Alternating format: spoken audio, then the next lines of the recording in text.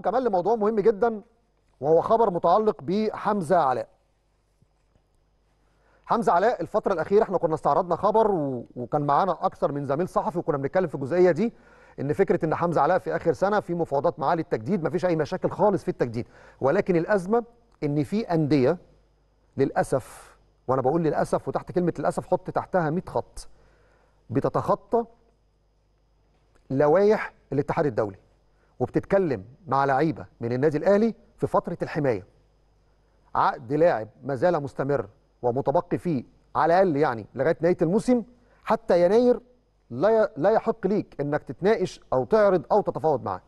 ولكن في كلام للأسف بيحصل مع لعيبة من قطاع الناشئين مع لعيبة من الفريق الأول ولكن ثقة كبيرة جدا إن كل لعيبة الأهلي ما عندهاش أي مشكلة وبإذن الله مستمرين الفترة اللي جاية سواء حمزة علاء أو حتى محمد رأفت. كل اللعيبة اللي كانت موجودة حتى في قطاع الناشئين مفيش أي أزمة عليها.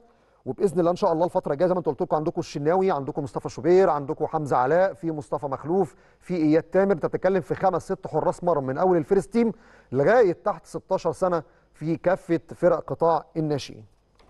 طيب ده كان خبر تاني متعلق بحمزة علاء.